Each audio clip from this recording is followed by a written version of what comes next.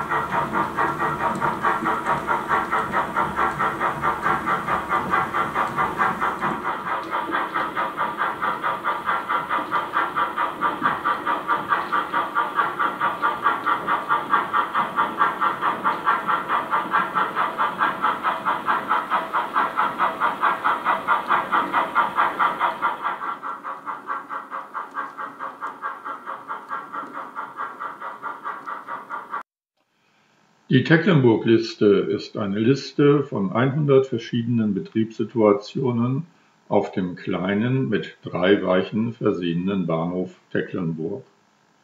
Was genauer dahinter steckt, kann in dem jetzt eingeblendeten Video äh, erfahren werden. Wer einfach weitergucken will, weil er das alles schon weiß, dem sei gesagt, hier geht es um das Jahr 1950 etwa.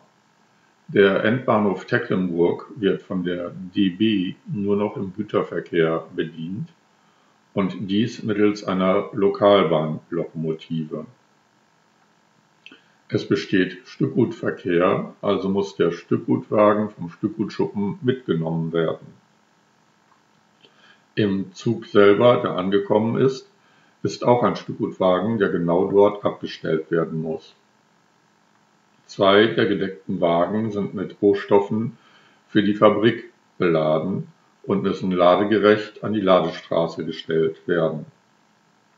Natürlich ist für die Aktion auch ein Zugführer notwendig und natürlich hat der einen Güterzug-Begleitwagen bekommen.